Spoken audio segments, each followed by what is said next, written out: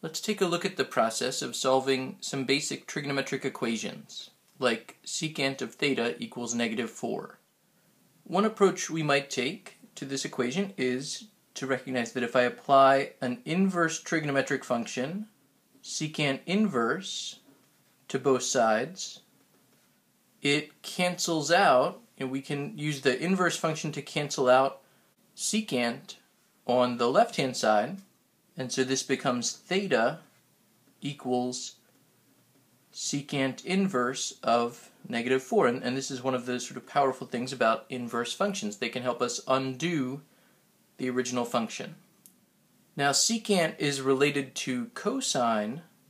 Secant is the reciprocal of cosine, and so the angle theta that we're looking for is equal to inverse cosine of the reciprocal ratio of negative 1 fourth because it's the ratios that belong inside the inverse function. Now, it'll become clear in a moment if it's not already, negative 1 fourth is not a ratio that's related to a nice point on the unit circle. So our value for theta isn't going to be a nice angle like 30 or 45 degrees or, or anything quite like that.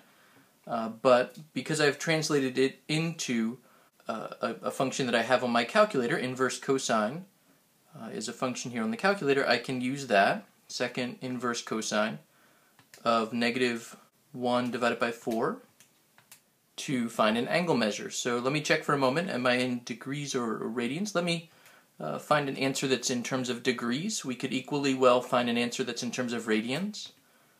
In degrees,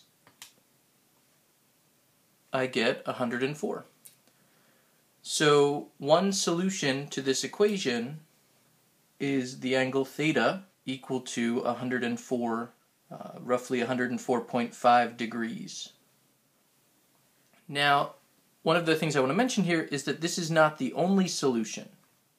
If you think about this solution on the unit circle, it's related to a secant ratio of negative 4 or a cosine ratio of 1 fourth, and, and so 104.5 degrees, it's going to be a bit bigger than 90 degrees, so it'll be about you know over here somewhere and it's the point on the unit circle that corresponds to an x coordinate of negative one fourth. Because it relates to that sort of cosine ratio, because it relates to a secant ratio, because it relates to that x coordinate, there'll be other solutions in a, in a few different places. So one other solution would be across the circle, um, across the x-axis, I would get the similar x-coordinate of 1 fourth, and so we can think about that second solution in a couple ways. Maybe the easiest way to, to see it, this would be a negative angle, sorry, this would be a negative angle here of uh, negative 104.5 degrees, and so that would represent a, a second solution. But in fact, there are an infinite number of solutions because I could also, I could always add or take away a full rotation. So another solution would be 360 plus 104 degrees, or 360 plus negative 104 degrees. So we really have sort of two sets of solutions. On the one hand, I could think of uh, a set of solutions. Theta could be anything that looks like 104 degrees plus 360 degrees times k where k represents any sort of arbitrary integer, or we could have negative 104 degrees, uh, 104.5 degrees plus 360 degrees times k. So these sets of values would represent all of the possible solutions, and, and again, I mean you know, where k is any integer. Often we'll be interested in finding solutions that are between 0 and 360 or between 0 and 2 pi for an equation like this. So we'll be looking for solutions on sort of one full set of angles around the unit circle. And so in that case, you know, we have our one solution uh, that came from the inverse trig function, inverse cosine, gave us that one solution. So one solution would be theta equals 104.5 degrees. And then, of course, the second solution, the way I, I thought about it here, there's kind of a symmetric solution because of the symmetry of the unit circle for cosine and secant, that symmetry relates to a reflection across the x-axis because that keeps the x-coordinate the same. And so looking from above the x-axis to below the x-axis, we get that second solution. Of course, if I want to find a solution between 0 and 360, negative 104.5 isn't going to work so well, but I can take that away from 360. Uh, or another way to think about it, I could add 360 to that solution, and so we would end up with 255.5 degrees. So given the parameters of looking for solutions between 0 and 360, the two solutions that satisfy that are 104.5 degrees and 255.5 degrees. It's nice to have ways to check our work, and, and we can uh, do that.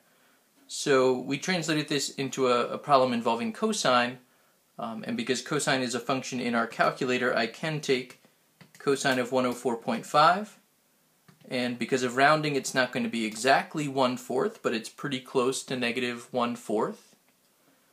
And we can see that cosine of 255.5 that other point on the unit circle also gives us that same cosine ratio. So let's take a look at a couple other sort of generic examples to see how a similar uh, process would work for sine and, and tangent. And I should mention, you know, this process that we're going to look at, it, it would also work for cosecant. Uh, the process for sine is related to cosecant, and the process for tangent is related to cotangent.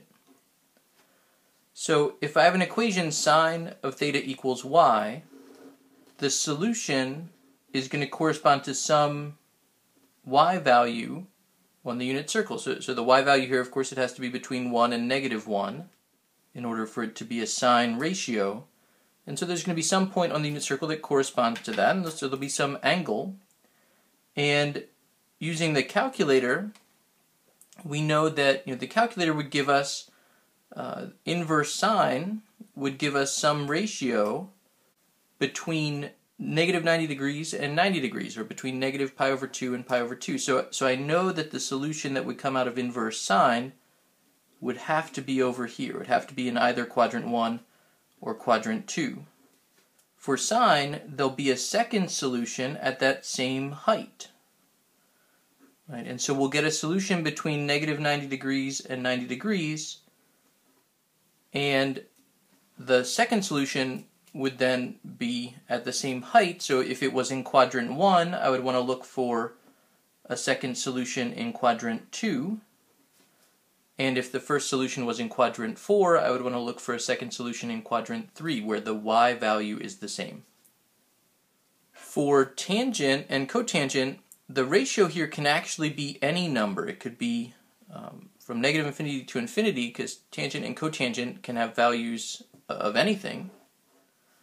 Thinking about what this would look like on the unit circle, similar to sine and cosecant, what we could get out of the calculator, and I should mention that if we had a, an equation like cotangent of theta um, equals some ratio uh, we could translate between a cotangent ratio and a tangent ratio by taking the reciprocal. So in, in the calculator, we only have tangent to work with. Um, so I could plug in a, a tangent ratio. Um, if I wanted to find when cotangent equals some value, I'd have to use the reciprocal there. So with that in mind, um, we can only get tangent values out of the calculator, inverse tangent values out of the calculator, and those would give us angles, just like with sine, those give us angles between negative 90 and 90 degrees, uh, or negative pi over 2 and pi over 2 radians. But for tangent, the the value, you know, if, if it, we have a, some tangent expression that relates to an angle, let's we have a tangent expression that relates to this angle down here in quadrant 4, quadrant 4 is a place where tangent values are negative because the x values are positive and the y values are negative. Of course, tangent is x, uh, sorry, y over x. Um, and so in quadrant 4, the, those values are negative because x and y have a different sign.